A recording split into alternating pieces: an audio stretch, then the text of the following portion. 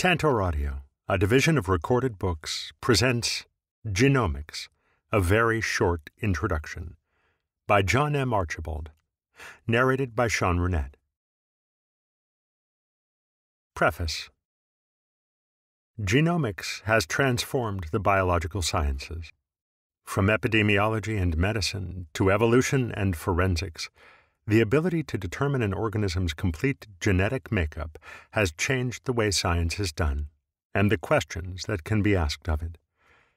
Far and away the most celebrated achievement of genomics is the Human Genome Project, a technologically challenging endeavor that took thousands of scientists around the world 13 years and $3 billion US to complete. In 2000, American President William Clinton referred to the resulting genome sequence as the most important, most wondrous map ever produced by humankind. Important though it was, this map was a low resolution first pass, a beginning, not an end point. As of this writing, thousands of human genomes have been sequenced, the primary goals being to better understand our biology in health and disease and to personalize medicine. Sequencing a human genome now takes only a few days and costs as little as $1,000 US. The genomes of simple bacteria and viruses can be sequenced in a matter of hours on a device that fits in the palm of your hand. The information is being used in ways unimaginable only a few years ago. The term genomics can mean different things to different people. It is, in one sense, a collection of experimental methods used to analyze the sequence and structure of an organism's genome. Genomics is also a mature, far reaching branch of science whose subject is the genome and the genes contained therein. This book explores the science of genomics and its rapidly expanding toolbox. The goal is to provide the listener with a broad overview of the topic, including the molecular biology upon which genomics is based, examples of the scientific questions it is used to address, how it impacts our daily lives, and how it is likely to do so in the future. As we shall see, genomics is a fast paced field, one that continues to push not only technological boundaries, but social, legal, and ethical ones as well. Indeed, DNA sequencing techniques are evolving so rapidly that methods developed within the last decade have already become obsolete. Exploration of the topic requires a certain amount of technical detail, but I have endeavored to keep such information to a minimum. Common abbreviations BAC, bacterial artificial chromosome, BP, base pairs, cDNA, complementary DNA. DNA, deoxyribonucleic acid. EST, expressed sequence tag. HGT, horizontal gene transfer. KBP, kilobase pairs. MBP, megabase pairs. NM, nanometers. PCR, polymerase chain reaction. RNA, ribonucleic acid. mRNA, messenger RNA. RNA seq, RNA sequencing, whole transcriptome shotgun sequencing, rRNA, ribosomal RNA, SNP, single nucleotide polymorphism. Chapter 1 What is Genomics? Elucidating the nature of heredity was one of the greatest triumphs of 20th century science first discovered in 1869 by a Swiss doctor named Friedrich Miescher, DNA, deoxyribonucleic acid, is often described as the master molecule of life. It is what genes are made of, the genetic material through which organisms pass on physical traits and innate behaviors to their offspring. Structurally and chemically speaking, DNA is a relatively simple molecule, but it is capable of storing vast quantities of information. Biologists use the term genome to refer to the sum total of DNA inside the single or multiple cells that make up an organism. The genome includes all of the organism's genes, as well as the so called non coding DNA. The amount of non coding DNA, sometimes called junk DNA, in a genome can differ from species to species. It is also important to note that complex organisms often have more than one genome. DNA can be contained in two or more distinct compartments within the cell. Human beings, for example, have two genomes, one residing in the cell nucleus and another in our cellular powerhouse, the mitochondrion. The size and structure of genomes varies significantly depending on the type of organism in which they reside. The biology of cells. The fundamental unit of life on Earth is the cell, and there are two main types prokaryotes and eukaryotes. Prokaryotes are microscopic single celled organisms that include the myriad of bacteria known to science. The Escherichia coli in our gut and the plague causing Yersinia pestis, the streptococcus that contribute to tooth decay, and the staphylococcus that cause skin infections, the lactobacillus we use to make yogurt, the cyanobacteria that photosynthesize in the ocean, and the nitrogen fixing bacteria that live symbiotically with the roots of plants. All of these bacteria, and many more, are prokaryotic organisms. Prokaryotes also include the archaea, or archaebacteria, a lesser known group of single celled organisms that often inhabit extreme environments. Archaea can live at temperatures of more than 100 degrees Celsius in hot springs and hydrothermal vents at the bottom of the ocean, while others thrive in high salt environments such as solar salterns, which can be up to 10 times more salty than seawater. Still, other archaea are acidophiles.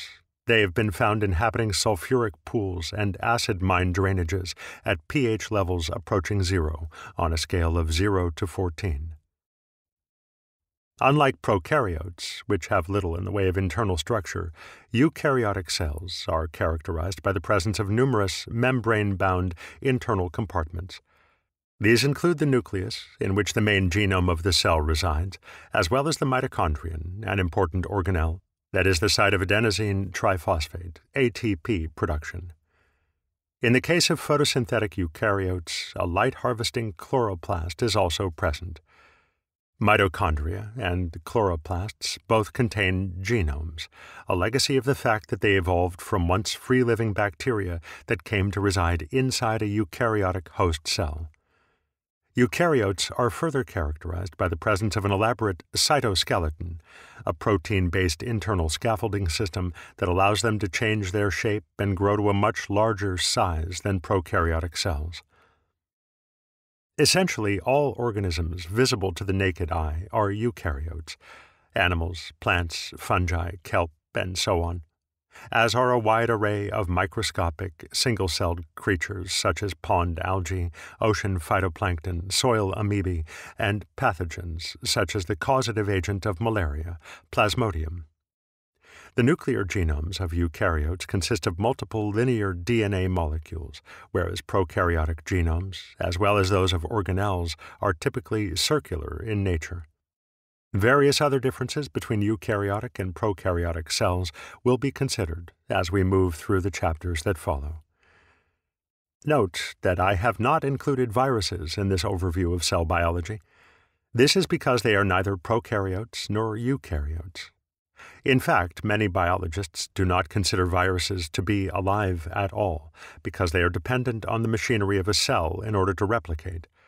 Viruses of both prokaryotes or eukaryotes are known. This is not to belittle their importance. There are many more viruses on Earth than there are bacteria, and there are a lot of bacteria, and viruses are astonishingly diverse in form and function. Viruses are also unique in that some of them contain a ribonucleic acid, RNA based genome, unlike cellular organisms which exclusively use DNA as their genetic material. We'll explore the diversity of viruses and their genomes in Chapter 6. It is an exciting area of research, one that is enjoying a resurgence of interest thanks to modern DNA sequencing techniques. Molecular biology.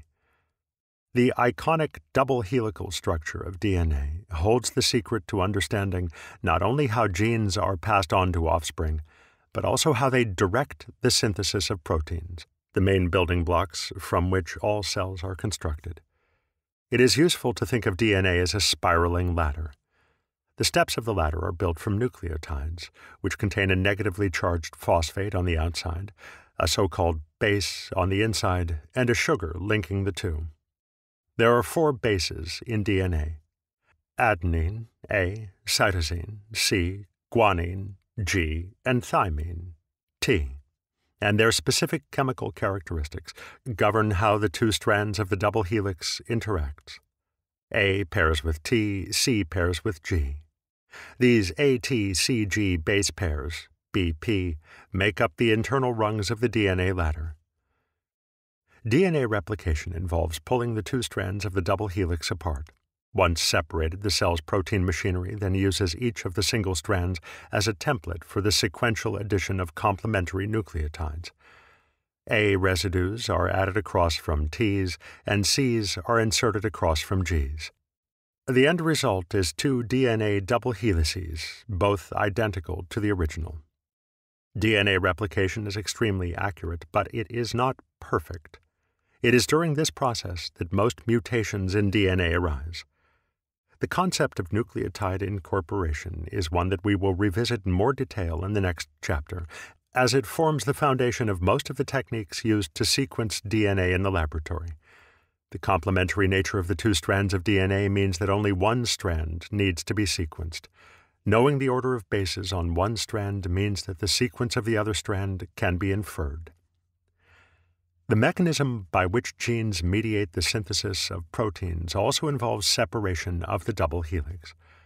In this case, one of the two DNA strands serves as a template for the production of RNA, a nucleic acid whose chemical composition is similar to but distinct from DNA. The sugar in RNA is ribose, not deoxyribose, as in DNA, and the ribonucleotide bases are A, C, G, and U, uracil. U is chemically similar to T and thus pairs with A. Depending on the RNA produced, it may function exclusively as a single stranded molecule, or it may fold up into a complex, three dimensional structure comprised of alternating single and double stranded regions. RNA molecules serve as a critical link between the genes that reside in the DNA and the proteins they specify. While DNA and RNA are linear chains comprised of nucleotides, proteins are polymers of amino acids. There are 20 different types of amino acids in naturally occurring proteins, each hardwired into the so called universal genetic code. The genetic code used by all cells, prokaryotic and eukaryotic, is a triplet code, which is to say that each particular amino acid is encoded by a three base codon.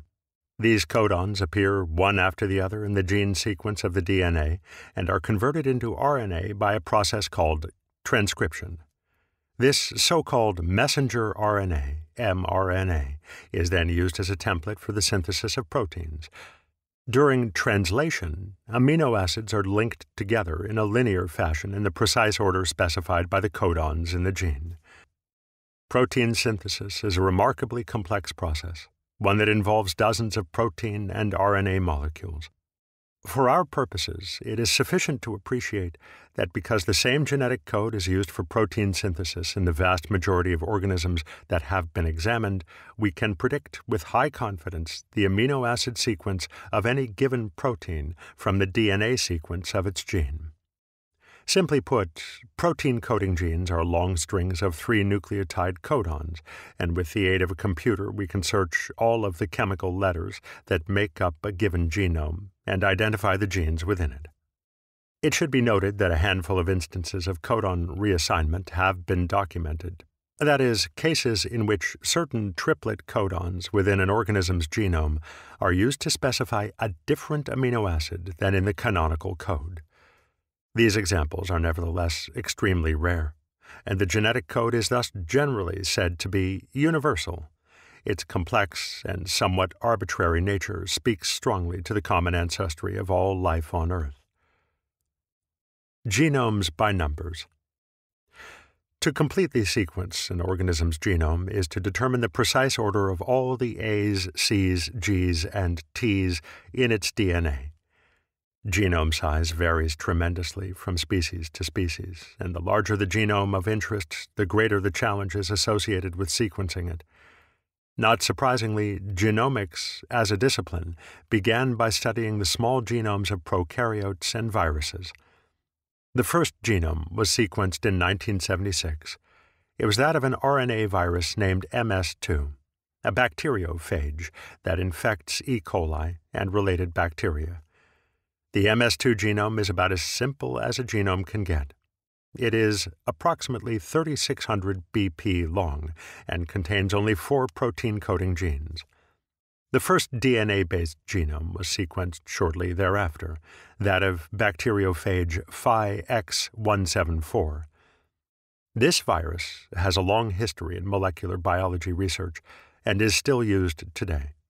For example, due to its small size, approximately 5400 BP and 11 protein coding genes, the Phi-X174 genome is often used as a positive control in genomics labs to ensure that the sequencing instruments and bioinformatic tools are functioning properly. The bacterium E. coli, a lab workhorse in both basic and applied research settings, has a genome of approximately 4.6 million BP and has approximately 4,300 protein coding genes. The genomes of hundreds of different E. coli strains have now been sequenced. The substantial variation seen between them gives rise to important differences in their pathogenicity. Stretched out in a line, the E. coli genome is about 1.5 millimeters long, which is remarkable given that the DNA double helix is a mere 2 nanometers in diameter, and an individual E. coli cell is only approximately 2 micrometers in length. E. coli and other bacteria can also harbor plasmids, tiny circular DNA molecules that are physically distinct from the cell's main genome. Plasmids are typically less than 10,000 BP in size and contain only a few to a few dozen genes. In nature, plasmids are frequently transferred from cell to cell. In the lab, they are easily manipulated and thus used extensively in genetic engineering. The human genome is made up of approximately 3.2 billion BP of DNA. The average human chromosome contains approximately 5 centimeters of DNA, and considering all 23 pairs of chromosomes, there are approximately 2 meters of DNA packed into the nucleus of each of our cells. These numbers highlight the extensive compaction that must take place in order to cram the DNA inside the cell.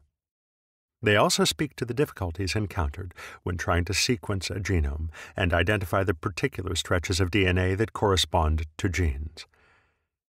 We still do not know how many genes are in the human genome. Current estimates are between 19,000 and 25,000, but no one knows for sure. There are various reasons for this. Much of the uncertainty revolves around the fact that only approximately 1% of the human genome corresponds to protein coding genes, and the genes themselves are often broken up into pieces. In prokaryotic genomes, genes are contiguous, uninterrupted strings of amino acid specifying codons, and the process of gene finding is usually straightforward. In eukaryotes, however, the codon containing regions of genes, the exons, are interrupted by stretches of non coding DNA introns. The introns are transcribed into RNA but are removed, spliced, before the molecule is used as a template for protein synthesis. Human genes often have dozens of introns, each of which can be tens of thousands of nucleotides long. Distinguishing exons from introns and other forms of non coding DNA is thus challenging. Molecular biologists have developed various techniques for sifting through vast quantities of genome sequence data and honing in on just the protein specifying codons. But the tools are still far from perfect, and what works for one organism's genome may not work for another's.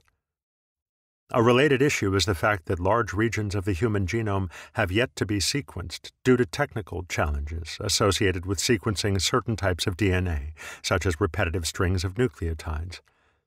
Given the nature of these sequences, it is unlikely that these missing regions are gene rich, but it is formally possible that there are still genes lurking in such portions of the genome. Efforts to improve the quality of the human genome sequence are ongoing taking advantage of the latest tools in DNA sequencing and analysis.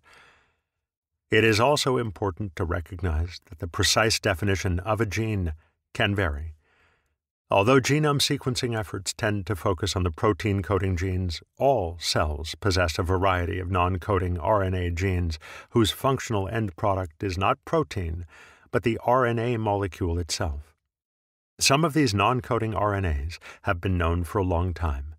These include ribosomal RNAs, which are RNA components of the protein synthesizing ribosome, and transfer RNAs, whose job is to bring individual amino acids to the site of protein chain elongation. One of the revelations of the past decade of genomics research has been the realization that hidden among the protein coding genes are many hundreds of small RNA encoding genes whose products exhibit a level of functional diversity greatly exceeding what was originally thought possible. These include microRNAs, a class of small regulatory RNAs that bind to mRNAs and, in so doing, modulate the expression of protein coding genes. By influencing when such genes are turned on and off, microRNAs have the potential to influence core cellular processes such as DNA replication and cell division. There is still much to learn about the size and complexity of the black box of small RNA biology. And again, technological advances have allowed researchers to head in exciting new directions. The concept of the gene continues to evolve. Why sequence a genome?